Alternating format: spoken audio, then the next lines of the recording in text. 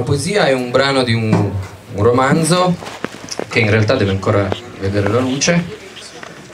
È, un brano che può vivere abbastanza di vita propria, quindi non vi sto a raccontare la trama. Vi dico solo che il protagonista di questo pezzo ha appena perso un figlio, rientra dall'ospedale e torna a casa.